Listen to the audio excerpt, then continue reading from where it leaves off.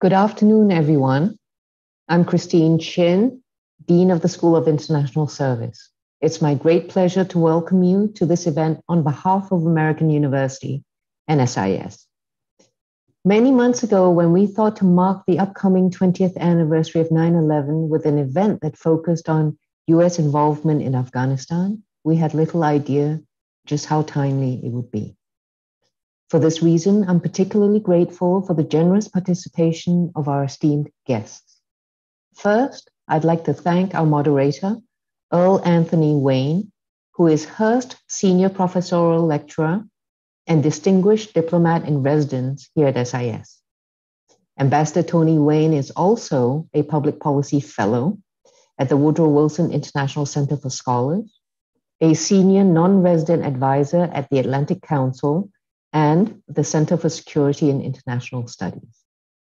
Serving 40 years as a US diplomat, Ambassador Wayne was posted in Kabul as Coordinating Director for Development and Economic Policy of Development and Economic Affairs, and as Deputy Director from 2009 to 2011.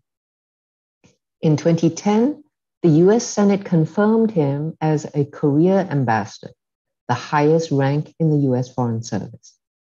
His last post was ambassador to Mexico from 2011 to 2015.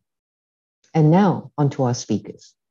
David Petraeus served over 37 years in the US military, including tours in Afghanistan. He culminated his military service with six consecutive commands as a general officer, five of which were in combat including command of the International Security Assistance Force in Afghanistan from 2010 to 2011. General Petraeus graduated with distinction from the US Military Academy, has held academic appointments at six universities, received U- numerous US military, State Department, NATO, and UN medals, and he's been decorated by 13 countries. Following his service in the military, General Petraeus served as the director of the CIA. He is currently partner at KKR and chairman of the KKR Global Institute. Thank you and welcome to SIS, General Petraeus. We are also honored that former ambassador of Afghanistan, Roya Rahmani, can join us today. Ambassador Rahmani was appointed as Afghanistan's first female ambassador to the United States by President Ghani in 2018, and she served in that post until July of this year. Her prior work includes service with nonprofit organizations in Canada and the USA, focused on human rights, women's empowerment, and education. She also worked in the Afghan government at the Ministry of Education and the Ministry of Foreign Affairs. In 2016, she was appointed as the first female ambassador from Afghanistan to Indonesia, and the first ever Afghan ambassador to ASEAN, the Association of Southeast Asian Nations. In addition to her advocacy for women's rights, Ambassador Rahmani was, has promoted the essential role women play in the peace process. She has received numerous awards for her work on equitable family rights and her advocacy of peace in Afghanistan. Selamat datang dan terima kasih Ambassador Rahman. Finally, Shamila Chaudhary is president of the American Pakistan Foundation and a senior South Asia fellow at New America. She has served 12 years, or she has 12 years of experience working in the US government, including in the White House as director of Pakistan and Afghanistan on the National Security Council. Ms. Chaudhary earned her MA in international affairs here at SIS. So, from one SIS alumna to another, welcome home to our alma mater, Shamila. We're very grateful to all of you for your time today. I will now hand over the Zoom mic to Ambassador Wayne, who will begin the conversation. Thank you.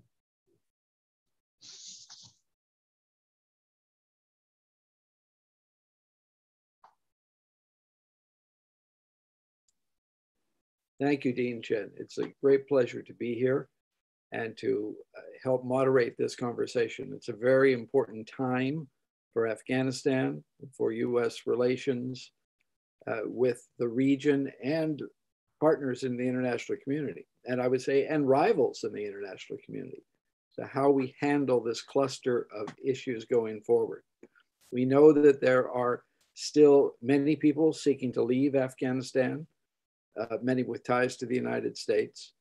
There is a massive humanitarian crisis growing in Af Afghanistan. The UN Secretary General uh, reiterated his, his call for support for the humanitarian appeal yesterday and noted that there are 18 million Afghans in need of humanitarian assistance right now. The government in Afghanistan, there is no government in Afghanistan yet. The Taliban have not formed a new government. Um, that, that is in the works. Um, there as we, we know very, very sadly, there are other terrorist groups at work in Afghanistan still present.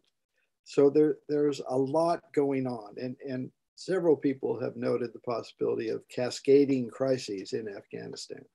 So we're going to explore today what the United States should be doing in this situation, um, how the US and the international community should uh, look at dealing with the Taliban going forward, what the implications are for our broader international credibility and for policy in the region, among other questions. So I'd like to start off and, and ask everybody to give a sense of what you think the priority tasks are right now for the United States. Tony Blinken, our Secretary of State, has said this is uh, really, we're going, our diplomacy now that's going to lead. So what should our diplomacy be doing? General Petraeus, can I ask you to start off? You can, Tony. Thanks, and great to be reunited with you, having served uh, together, of course, uh, in the shadow of the Hindu Kush uh, in Afghanistan when you were the deputy ambassador, and, and I was privileged to be the commander. Um, look, I think you can you can question whether we should even be where we are in Afghanistan, and obviously, uh, some of us have had different views about what alternatives there were. Uh, but we are where we are. And I think by and large, the administration does have uh, the right priorities. It is to continue to reach out to those American citizens who are still left in the country and either didn't choose to leave or weren't able to leave uh, during the period of the, the very impressive airlift that was conducted, uh, albeit a, a, certainly a costly one, recalling that there were nearly 200 Afghan citizens, innocent civilians killed, and 13 of our soldiers. Um, beyond that, needless to say, there are green card holders uh, that also will not have gotten out. Uh, I'm waiting to find out how many of the special immigrant visa holders and applicants and family members did make it through the entry control points and onto a plane uh, to a third country where they're being processed. That, that number is uh, not available right now.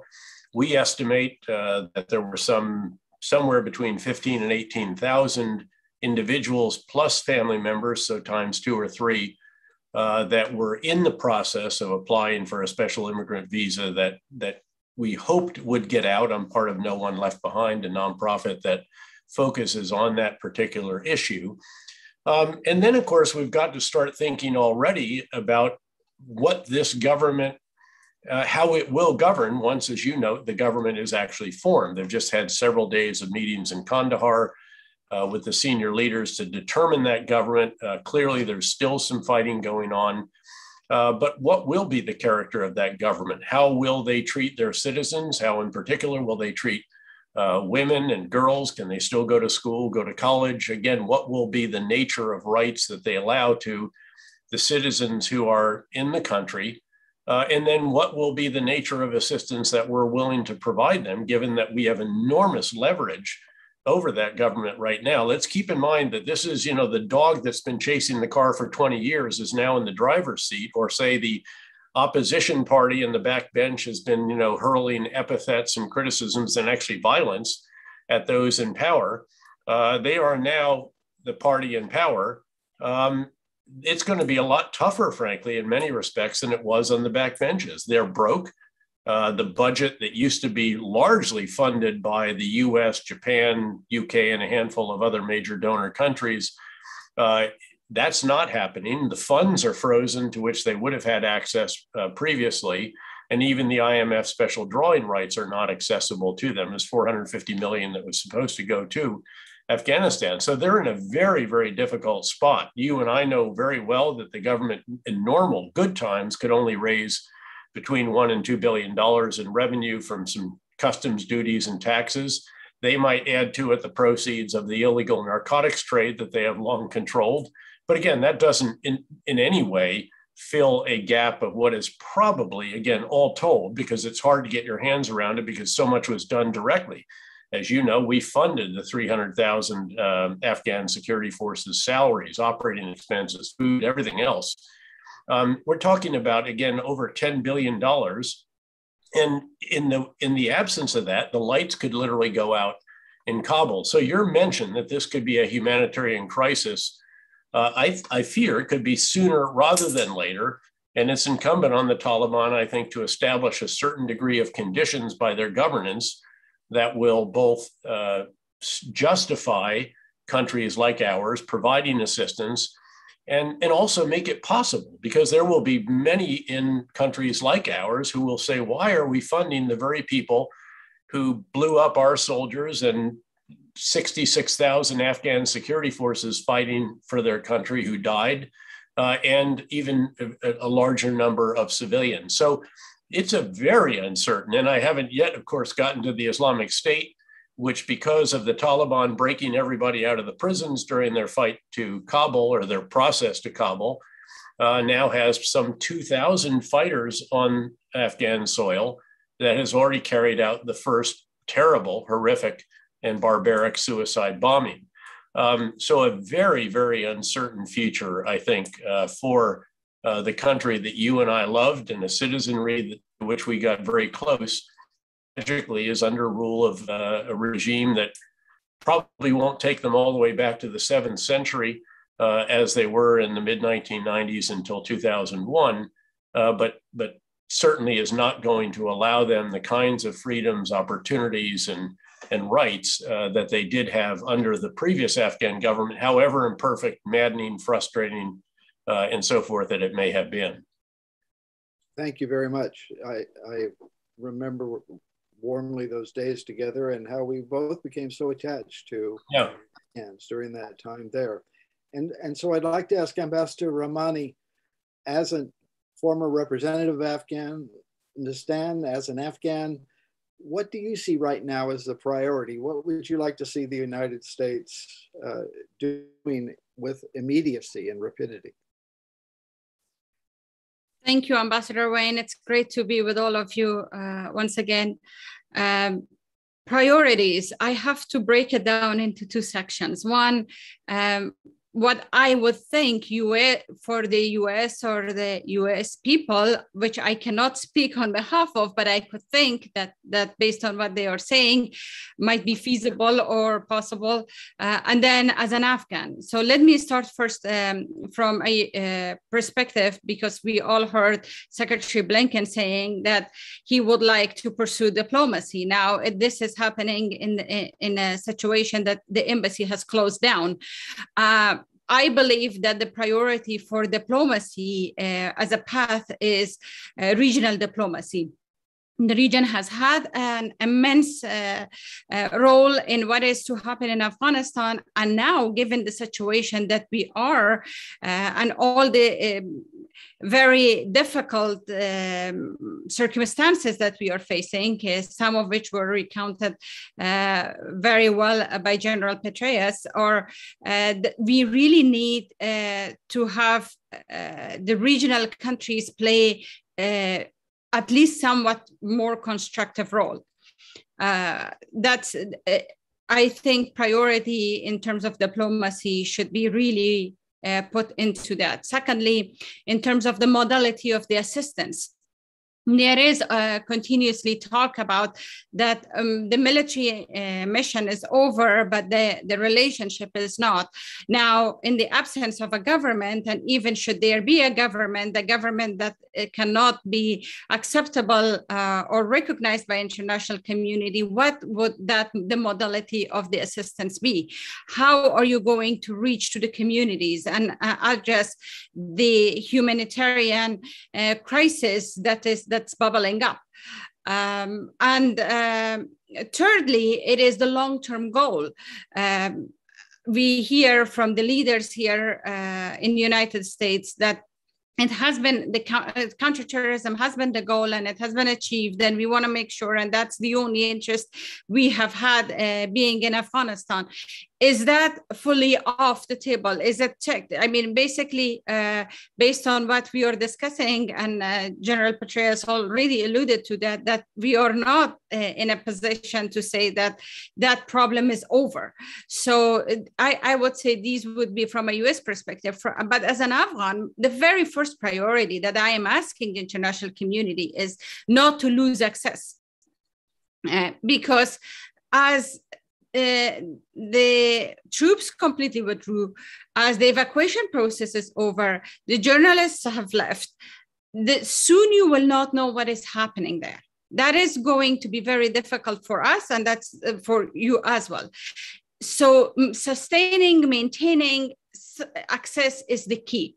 Now, I am really uh, uh, getting very worried uh, both about the issues, uh, some of which, uh, again, General Petraeus mentioned in terms of the infrastructure, whether they would be able to afford it or not that includes electricity internet access and whatnot but in addition to that uh, the Taliban have already made some statements saying that they are going to close down YouTube or WhatsApp or uh, Facebook. This is going to cut us down from the rest of the world. This is a very immediate need. Whether you want to do assistance or diplomacy or human rights, we, you need to have access. Thank you. That's an excellent point the ability, the transparency for all of us to see what's happening and for Afghans to communicate out what's happening is vital. Thank you. Shamila, do you want to offer some perspective from your expertise in the region, as well as working at the National Security Council, about what you see as priorities? Sure. Thank you, Ambassador Wayne. Um, I concur kind of on a tactical level with what General Petraeus and Ambassador Rahmani said about what is most pressing. But as a student of international affairs and foreign policy, if I'm asked to identify a priority, I have to think that it must be linked to a strategy. I can't identify priorities if a strategy is not clear. And what I'm hearing from the administration is um, similar to past strategies that we've had in Afghanistan, minus the military footprint, and now on top of that minus the diplomatic footprint. So whatever needs to be done in the short run and the medium run is going to be all the more difficult because we don't have uh, the access, as Ambassador Rahmani mentioned, and it's occurring um, in the midst of such great instability um, to General Petraeus's points. And so um, I, I want to make a point of uh, uh, Tony Blinken said something about we will, and so did uh, the president, we will maintain our leverage as the United States. Now, that's going to be really difficult if you don't have an embassy, if you don't have thousands of troops on the ground. And so um, we are right to assume that diplomacy is, um, in short order, the priority. But the tactics behind that become really important. So, not doing one on one diplomacy. We need to talk to the, the different countries in the region, some of whom we will disagree with vehemently on human rights, on certain um, approaches to the Taliban. But that's going to be really important we need consistent and clear communication about what we are doing to protect American citizens, green card holders, and SIVs and other Afghan allies on the ground. We made a commitment to them. We, we said that August 31st was not a cliff. We have to follow through on that. Okay. And then finally, in terms of visibility, um, we don't have any we don't have any eyes and ears on the ground. And with each day that passes, probably less so. And so ensuring that the international community can do its job so that we all can um, kind of maintain the leverage, the little leverage that we each have. That's really, that's going to be really important in the near term.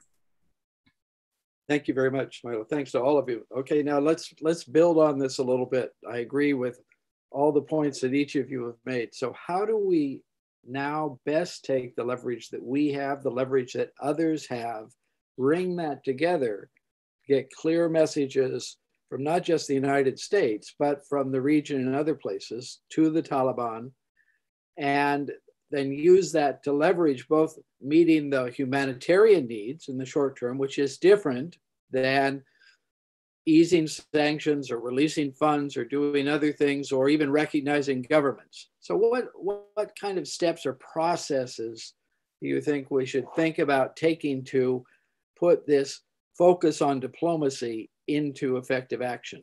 Uh, General Petraeus, please. Uh, unmute. The most famous words of the Zoom era. Uh, you're on mute. Um, this has begun, to be fair to the administration. I think they have been pretty aggressive. Uh, they pulled together the UN Security Council message already to the Taliban and so forth, uh, talking about what it is that we hope to see, et cetera, et cetera. There's been a grouping of 100 countries that have also put out a, a diplomatic statement uh, in that regard. Um, and, and yes, we don't have folks in that beautiful $450 million embassy that you helped to, to build. Uh, and I, I must say, I did question publicly why don't we keep people there? I mean, it's very clear the Taliban are not going to pick a fight with the United States. They won. Uh, they got what they wanted. Uh, what they should be doing now is thinking over the next horizon. Again, how are they going to fill this extraordinary fiscal uh, gulf that they are going to have? And as was pointed out, Afghanistan doesn't generate that much of its own electricity, certainly nothing that's very organic other than some hydropower. As you well know, a lot of it is imported on lines from the north and elsewhere. Uh, and then a lot of the refined fuel products that fuel the rest, that generate the rest, uh, again, come from neighboring countries as well.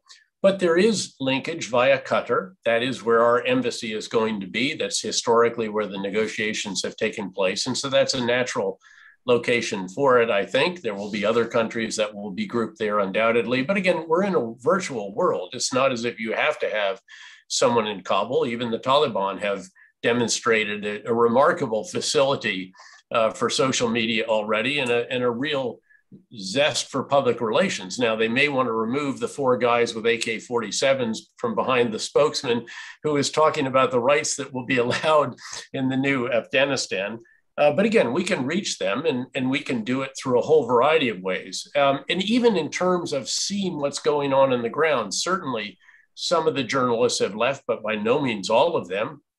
Um, but beyond that, there is an enormous amount of social media. I think um, Ambassador Rahmani does raise a point. What happens if the country, if the lights, it's not just lights that go out because of a failure to pay for the imported electricity and refined fuel product. What happens if the internet goes down?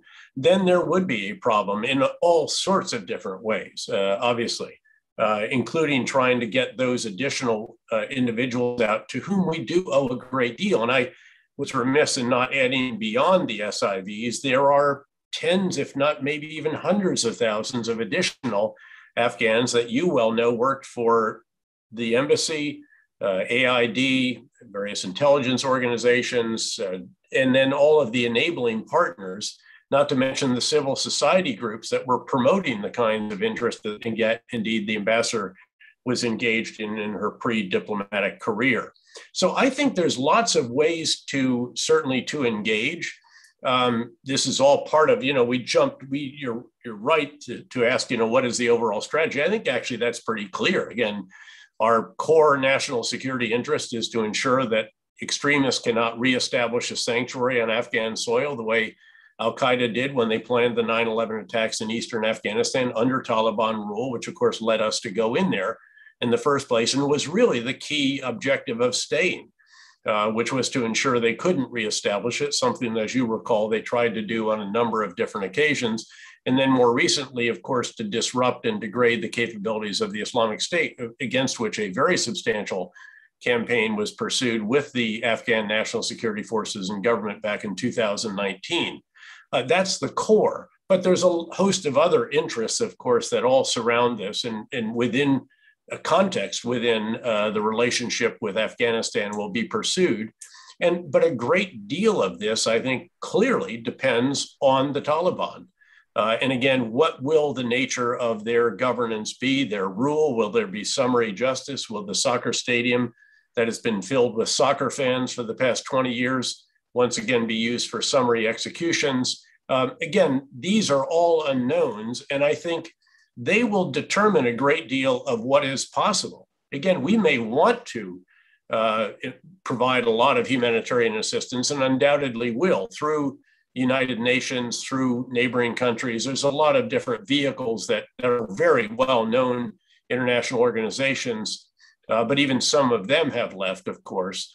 Uh, but the real question is over the longer term, can we really bring ourselves to support what are essentially our former enemies on the battlefield if they don't actually demonstrate uh, a very different character of governance? Uh, just our own domestic political uh, limitations on that policy uh, will preclude that uh, if they are not able to do that. And if that is the case, the future, the near term, and indeed the midterm for our former Afghan partners there and Afghan citizens writ large uh, is going to be fairly dismal. Yes, thank you very much. Ambassador Rahmani, you, you've worked with the civil society before and with NGOs. How do you think civil society and NGOs can work to help mobilize their own governments internationally and bring together opinion to a, a coordinated strategy that can help increase leverage on the, the Taliban to do the right thing. As, as General Petraeus says, it's going to be up to the Taliban to d- decide to do the right thing, but certainly we can create as much leverage as possible and pressure as possible to nudge them in that direction. How would you see that evolving? Let me explain what civil society was 20 years ago and how it evolved over 20 years, um, first of all. When the Taliban were in power, in uh, the whole, in fact, the whole era of 1990s, uh, the civil society emerged uh, in a very covert way trying to do stuff in hiding uh, in order to educate the kids in order to provide some training for the women. Uh, and and that was uh, with no monetary incentives. That was not uh, that was uh, operations in hiding. It was if, if they were found they would have been punished and imprisoned and whatnot in fact, I happen to know many of those organizations who were functional during the uh, Taliban and they were providing some sort of training or uh, school education uh, to the girls uh, and boys alike, but particularly to the girls. And even the way they were functioning, uh, if the girls were to go to that neighbor's house who was providing classes, they would wrap their books in, in cloths pretending that they were Quran or, or maybe uh, they were uh, bringing it or mixing it with a bag of the fabric, another thing, pretending that it's a sewing class or something like that in order to do what they were doing. And they would throw their books out if there was a knock at the door. Uh, so that was a very uh, um, self-emerging uh, concerned civil society but very very minuscule at the time. Then uh, after the intervention it completely mushroomed it, became so much bigger. So many groups came uh, about and they did a lot of activities. And um, they really evolved and developed. But then the reason I am uh, explaining this evolution is that they were also supported by the uh, international community massively with, through funding, through protection, through advocacy, through the conditionality that the uh, international community continuously asserted on the government, uh, ensuring that they would have a platform to function. So now in the as the plug is off, it is even harder for civil society to get themselves together particularly it is not a government that the civil society could possibly do what they are expected to do bridging between the people and government. Uh, because it is not the form of the government that that is allowing uh, or the, the assessment is based on the experience from the past that would uh, allow basically people to um, have the same sort of freedom of expression and, and function with the same liberties and rights that they had over the past 20 years. So, if the civil society is critical of the government, even in a, a, constructive way, I'm not so sure how much it would be tolerated. So, in fact, the members of the civil society are now uh, the ones that are uh, the most worried.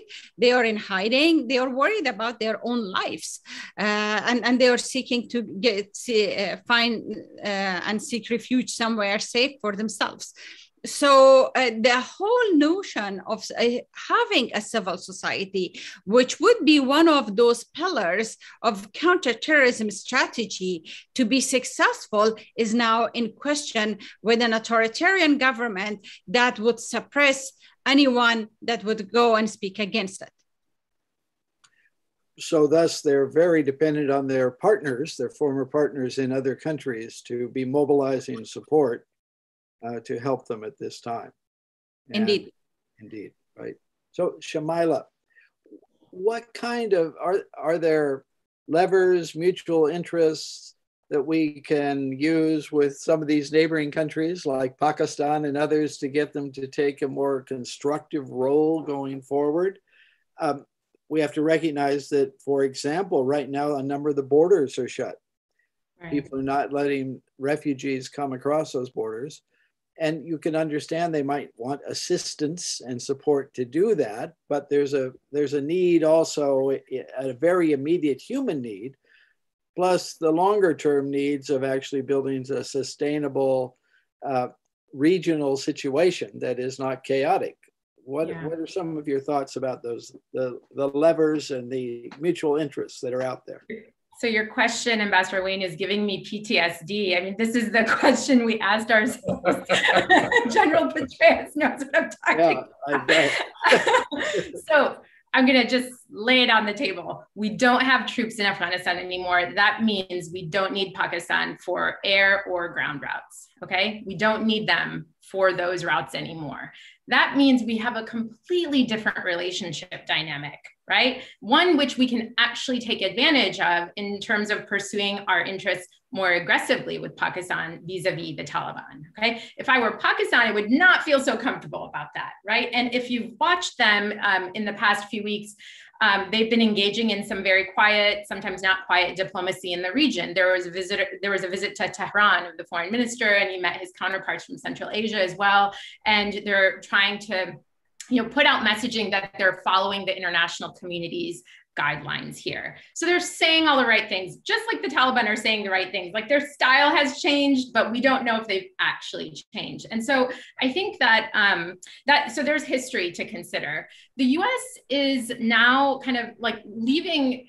Us leaving has equalized things, meaning we're we share with the rest of the region concerns about spillover right? So the Pakistanis and the Russians and the Chinese, they may be quietly like kind of giving each other high fives and and and saying we told you so and engaging in some schadenfreude right now. But I do think they're actually worried, right? Central Asia is Russia's backyard, right? Pakistanis don't want any more instability than they already have on their border. They can't control it correct? Um, they don't want to become a pariah state. They don't want to see sanctions coming their way. So I actually think that, um, and then also if you think about the EU and the concerns of migration, they're going to be paying attention a lot more. Turkey is poised to play a much, much stronger diplomatic role for its own kind of reasons and interests. So this, this is actually a much better landscape for the US, despite kind of the instability right now. And if you're an Afghan, it's not great at all. But I do think that um, if done right, the US can pursue quiet diplomacy with in terms of its bilateral relationships with these countries, but then also do it within the context of, of some kind of regional infrastructure that's more inclusive. It's got it has to be uh, regional because we don't want to be seen as kind of having our own um, kind of still being involved in controlling the show when we've said that we've departed and there has to be regional ownership. Yeah, I, I strongly agree with your last point we need to be a lot more modest here, but still active in bringing people together. And that means working with partners and allies. So in that connection, General Petraeus, so what kind of actions can help rebuild credibility, which has been damaged, I think, by, on many different accounts recently? And what would this look like in going forward? Would you see of us, if we take Shamila's idea, and try to bring people together in a, an effort to support a, re, a, a, regional cooperation, maybe, and also we want to try and bring our rivals in, right, Russia and China. So what would what might that look like? Well, I think again, it has largely begun. It's very early stages. Uh, it's just nascent, but of course, the initiative in the UN Security Council just this week is significant. Uh, the initiative with the 100 countries that all signed on to the communique and so forth is significant. Uh, if you follow the flurry of phone calls that the Secretary of Defense and the Secretary of State have made, I, I'm not sure I've ever seen as many phone calls in a single day, at least since maybe the 2008 financial crisis or something of that nature.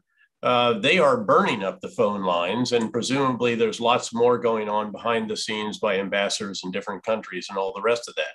But let's zoom out a little bit and remember that, of course, the grand context for this is the is is exactly right what the administration is trying to pursue, which is to uh, develop a comprehensive, integrated, and cohesive whole of governments with an S on the end, with all of our partners and allies around the world together, approach to the most important relationship in the world, which is that with China.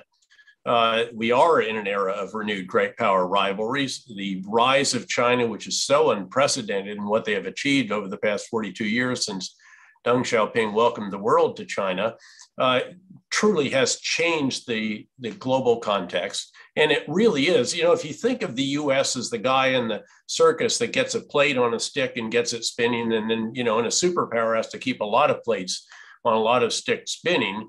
The biggest plate, probably bigger than all of the others together, is that which does represent this relationship with China. And one that, again, this administration, to be fair to them, because I have obviously been critical about or at least called into question the approach on Afghanistan, I'm broadly in agreement with about 95% of what they are doing, which is devoted to this biggest of relations. And they went about this very skillfully. They engaged our Asian partners, they engaged the Quad, other Indo Pacific uh, powers all directly at summit levels, even if virtually. Went to the G7 summit, did the EU summit, did a NATO summit, picked up the other countries that we hadn't engaged along the way, even engaged with Russia uh, directly uh, before really starting the serious engagement with China. Now, we've obviously had our attention diverted very, very massively. And I think one of the big miscalculations was the idea that if we pull out of Afghanistan, it will take that issue off the Situation Room table. I mean, how's that working out? All they've done is had Afghanistan at the Situation Room table. But again, now if you can get that back into the diplomatic realm and refocus on what is most important in the world, so you then ask, how do you, in a sense, shore up your credibility and your reputation? That I think without, you know, it's inarguable that this has been damaged in some way, at the very least by the way that we have withdrawn, if not the actual withdrawal itself, that resulted in a replacement of a government, again, however imperfect, was democratically elected, allowed the freedoms we cherish, part of that greater strategy that we might talk about replaced by the Taliban. So, how do you do that? Well, again, I think you get back to the focus uh, on the Indo Pacific. You continue the rebalance to Asia. You continue the big reforms of our military services, of our entire whole of government approach to that. Keep all of those other plates spinning. And, and again, to be fair, I think they've done this quite skillfully. In every other case where there is an Islamist extremist group that threatens us, uh, in Iraq, we're staying, no combat forces, but we weren't doing combat anyway, and that made things difficult for the leadership in Baghdad. Uh, but we'll keep our intelligence, surveillance, reconnaissance assets, other enablers, intelligence fusion, staying in northeastern Syria, a place from which the previous uh, government, of course, you know, impulsively left and went back. Staying and went back to Somalia, reversed that particular uh, step by the previous government. Staying in probably 7,000 or so uh, troops in various locations in Africa and a host of others, while also, of course, trying to keep in perspective all the other challenges that are out there, whether it's North Korea, cyber, Russia, Iran, um, domestic population, you know, the, the pandemic, uh, the global uh, economy, and on and on. And I think we just have to show that steadiness, uh, that again, the credible steps to lead And now, with respect to Afghanistan, it has to be how do we lead all those others and work with them? And truly, by the way, do it in a consultative manner, noting that, again, if you talk to our closest allies, and I was just at lunch with one of them, uh, representative of them, um, you know, they are quite openly critical. You hear the speech by the member of parliament, Tom Tugendhat, uh, or the criticism of the UK Minister of Defense or other major NATO uh, leaders and so forth, they do not feel that they were consulted on this. They felt that they were informed. So, again, do some after action review, as we say in the military, after a particular operation of policy implementation, and ask how can we do all of that better, uh, but with recognition of the new reality in Afghanistan. The problem being, of course, that again, so much of what we will be able to do and, and should do will be dependent on the Taliban. Uh, again, their actions will, in very significant ways, circumscribe what many of the governments of the world will be able to do, even if we would want to do more to help the Afghan people. If the nature of that regime is uh, as horrible as it was in the late 1990s, again, we can have hope that that will not be the case, uh, but that's not not a method. It's not a strategy uh, we have to see what what do they really do, and that is going to be keenly interesting uh, in the days and weeks that lie ahead, without question. Thank you very much. I mean, you've made quite clear it's it's a very big, a very complex agenda, and it's not going to get any easier. So the demands on U.S. diplomacy are are higher than ever. So let me let me ask Ambassador Rahmani and and Shamila going forward, since we are coming up on the anniversary of 9-11 uh, and then shortly the anniversary of our involvement in Afghanistan, what would you say are one or two takeaways that all of the students and faculty listening um, should think about from all from this experience. I know it's a big experience and we're going to spend a long time in the United States and in Afghanistan thinking about, but what messages would would you like them to take away from this conversation about what's important going forward now related to the last you know 20 years? What do we take from this and what should the united states think about? Ambassador Rahmani do you have a sure. message? uh, well to begin with uh, I, I will share the one from uh, the Afghan perspective, the way, meaning the way we ha- we saw uh, some of the issues were, um, and uh, as the students are uh, moving forward, it might be useful to take that into consideration. Number one uh, issue was that when you have strategies that have uh, two sides uh, at the same time or uh, two uh, completely diverging um, messages at the same time, it leads uh, to the situation that we are now. Let me elaborate on that. So, on uh, one hand, when you have a military surge, and on the other hand, you have a specific deadline for withdrawal, that is defeating the purpose. This has been one of the biggest issues uh, over and over the, the, the, deadlines, the introduction of the deadlines uh, in terms of the presence of the troops uh, and the mission in Afghanistan that has contributed to, to what we are seeing today. Second, um, consistency. Uh, I have heard it over and over from many members of the US military. And General Petraeus is here. You yourself, you were on the ground, and and you know both. You both of you know this uh, better than I do. But I have heard it uh, many times that uh, the the troops questioned the mission. They were not sure. It was not always communicated clearly, and th- that consistency was not uh, very uh, uh, much there. Uh, thirdly, um, for any intervention that happens, uh, there is a degree uh, of mirror imaging that is tolerable, meaning that when the US and international community went to Afghanistan, in certain cases, they tried to overly emphasized on certain uh, cultural traits, uh, ethnic traits, and whatnot, uh, that it, it became way more inflamed than it was before. Uh, ethnic divisions uh, being one of it uh, at the top. and lastly, um, the issue of accountability accountability is extremely important that should be always taken extremely seriously. Um, whenever you turn a blind eye, whether uh, to the government that's in place and is not meeting its own obligation, or uh, together uh, with the rest of the international community, how you coordinate, that provides grounds for losses, waste, and, and so much more. And this has been one of the major reasons of we are seeing what we are seeing today in Afghanistan.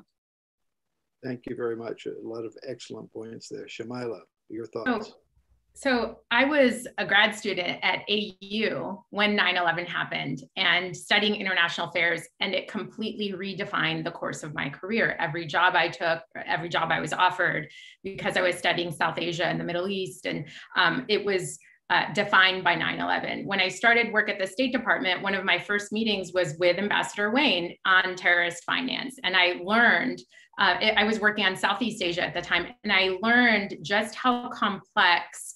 Um, running kind of a um, you know a, a, war is because you you can't do it alone. You have to have a whole of government approach, but governments as well. And so what and and that followed us throughout these two decades that we couldn't do it alone and a very important point for students our history followed us wherever we went. So, what that meant was as we, as young foreign policy professionals, were trying to work on being the problem solvers of this war, we constantly had the rest of the world put in front of our faces the pages of a history from the you know the soviets in afghanistan and what the us did at that time. And we were not i, I don't think we were best prepared to kind of contend with that. And so um, because policymaking is urgent and you don't have time to read you should have done that before you you got your job right? And so i i want i can't emphasize enough like what it means to understand america's role in the world um, historically and and to digest it and digest it with humility so when you go overseas and you do the work that you know needs to be done to protect your fellow citizens, that you have to kind of also be able to see it from the eyes of the Afghans or the Pakistanis or the Chinese. That's something that I think the world thinks we don't have. I know we have it. I know we have it. We just haven't been able to show it in, in kind of a genuine, honest way. So I'm just going to take this opportunity to say something that's completely unrealistic, but just, you know, to, to really understand America's role in the world and to study it as you go out and, and do these practical jobs. Thank you very much. A lot of a lot of wisdom in there. And, and that's right. What I learned from 9 11, I was with Colin Powell in Lima when 9 11 happened. I flew back with him and figured out we better do something from the economic perspective on terrorist financing. And we started doing that. So many people contributing so many different ways to try and get this right. Um, General Petraeus, what's your, your word of wisdom to all these hopefully better than this generation of international uh, actors and leaders for the United States? Well, clearly, we have to learn from uh, what we did uh, in Afghanistan, which certainly had achievements, successes, uh, but also, as you well know, a lot of setbacks, a lot of shortcomings, a lot of mistakes. I think it's important to note that in that regard, that we did not even get the inputs right in Afghanistan until about the end of 2010. This is nine years into the Afghan war, uh, a large part because, of course, we quickly shifted our focus to Iraq, and then Iraq became the, the war, as Admiral Mullen put it, as you'll recall, Tony. In Iraq, we do what we must. In Afghanistan, what we do, what we can. Uh, and it wasn't until the Obama administration, the, the surge in Iraq, it allowed us to draw down uh, and then finally, we could focus on Afghanistan. You had the policy review of 2009 and the gradual introduction of additional forces. But by inputs, I'm talking about the right approach, the right strategy, the, just the decent understanding of the country uh, that you invaded uh, some years earlier and all of the different traditions and cultures and religions and, you know, ethnic and sectarian and the other groupings and all of the rest of that. Um, and, and again, it was the right level of resources, which the ambassador rightly noted. We announced a buildup and in the same speech announced, but we're going to start drawing down in the summer uh, of 2011. Now, even if you have to do that, you don't necessarily want to tell the enemy that. I refused to tell Congress, as you'll recall, during the surge in Iraq, that we were actually going to draw down at the end of 15 month tours for our army. I knew we were going to, we had to, there's no alternative. But I wasn't going to tell them, which would be to tell the enemy the same thing. And we did, as the ambassador rightly noted. I mean, we made it clear we want to leave. And if you're trying to negotiate, even if you have Richard Holbrooke as your negotiator, as we did, uh, for that period that you and I were together, first at Central Command, then in Afghanistan, and then even the CIA. If you have that, um, even he can't negotiate from a foundation that is weakened because the enemy knows you want to go home. And of course, the previous administration's negotiation, where we said basically we want an agreement that will allow us to go home. I mean, what kind of foundation is that? And we excluded the very government of the country that was democratically elected about which we were negotiating and then forced them to release 5,000 detainees that provided almost immediate reinforcements to the Taliban for the fight that lay ahead. Um, so again, we should recognize we didn't get the strategy, the resources, the, the right people, even the preparation of our forces, the organizational architecture sounds very uh, technical and jargonish. It's crucial. We didn't have all of that uh, put together uh, indeed until nine years uh, after we intervened uh, in Afghanistan. And then I think the words that the others offered about being a bit humble, being modest in our aspirations and in our in our actions, understanding we don't have the right answer. Our solution is not always the right solution for everywhere else. Really trying to understand again the context uh, in which we are operating, uh, understanding that these threats that we were dealing with not just in Afghanistan, but elsewhere, require a sustained, sustainable commitment. Of course, you can't sustain it unless it's sustainable, measured in terms of blood and treasure expenditure. Uh, and we are doing that in every other place right now, with the exception, uh, obviously, of Afghanistan, where again, I felt there was a sustainable, sustained commitment alternative, but obviously it was not the one uh, that was chosen. Um, I would just uh, offer a, a slight counterpoint. Um, when you and I were there, Tony, I felt that the military missions, really the overarching missions, were actually very clear. Our missions were to halt the momentum of the Taliban, to roll it back in key areas, to accelerate the development of the Afghan National Security Forces. And for those who think that nation building was where it all went wrong, if you don't build a nation, or at least some elements of it, how do you hand off tasks to them so that you can gradually draw down your forces, your uh, diplomats, your development workers, your intelligence officers, and all the rest of that. So that was inevitable and, and absolutely necessary. Um, and then, of course, to always ensure that Al Qaeda couldn't reestablish the sanctuary it had when it planned the 9 11 attacks there, and also to be a platform, which some people overlook at times. Afghanistan was a spectacular platform for the regional counterterrorism campaign uh, that included the most obvious operation of which and most public was the one that, of course, brought Osama bin Laden uh, to justice toward the end of our time uh, in that particular tour. Um, so again, I felt now you can say later on it became a little less clear that, and again, all that may be uh, certainly at the very least arguable, but I felt that at that time, at that particular period, having had the Obama policy review, that it was a period of, of somewhat unique clarity and unique resourcing, albeit with an impatience already uh, to begin the drawdown. If I could, I'll just draw out then and, and offer that we had a sign on the wall of the operations center that all the way back in, into the beginning of the invasion of Iraq when I was the two-star general and commander of the great 101st Airborne Division. And it was in every one of those subsequent commands, three and four star in Iraq as well, Central Command, and of course in Afghanistan. And it asked a question. It asked, will this operation take more bad guys off the streets than it creates by its conduct? And if the answer to that was no, you're supposed to go sit under a tree until the thought passes. The same is true of policies. Um, and, and candidly, along the way in this greater war on terror, we pursued policies that very much created far more bad guys than they took off the streets uh, by their implementation. I mean, the most significant, the most glaring of those were at the beginning in Iraq when we fired the Iraqi army without telling them what their future was, and then compounded that by firing the Iraqi Ba'ath Party. Now, don't get me wrong, we needed to go after Saddam. We were proud to get his two sons and the 101st area of responsibility. But when you went down to the level of professors at Mosul University, 110 of them who were tenured, and they're all fired, and they have no opportunity left in life because there is no not no uh, private university uh, in Iraq.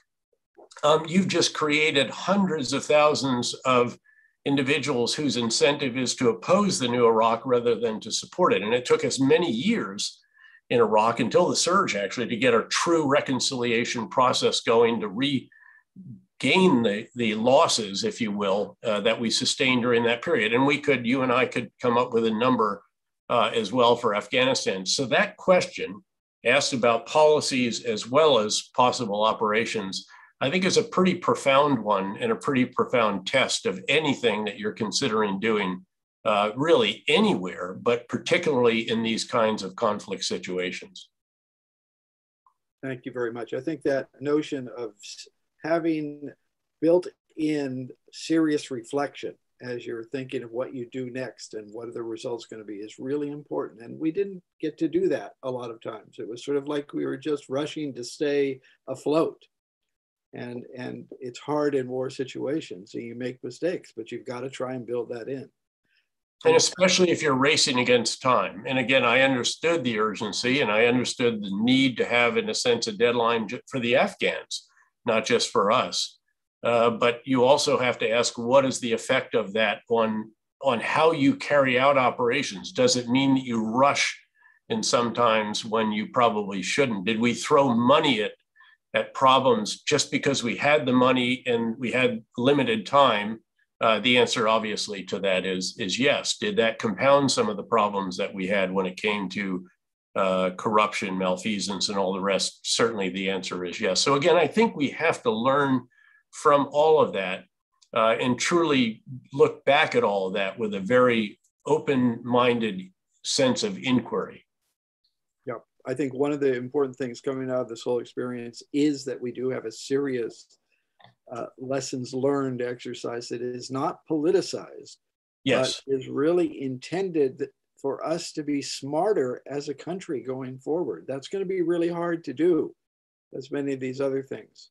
And I want to thank all of thank each of you for being with us. There were a lot of good questions in the chat that we didn't get to. I'd be happy to, for those of you who are students at AU and SIS, I'd be happy to find opportunity to talk through some of those chats if we're uh, when we're together over the weeks ahead. But thank you very much, uh, Ambassador Rahmani. Thank you very much, Shamila Chaudhary. And thank you very much, General David Petraeus, for being with us and, and helping us launch this period of reflection of 20 years after. It's been a great Thanks, pleasure. Thank you. Thank you again, Ambassador. Thank you.